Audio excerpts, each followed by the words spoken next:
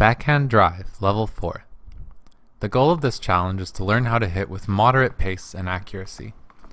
Your target is 10 consecutive hits.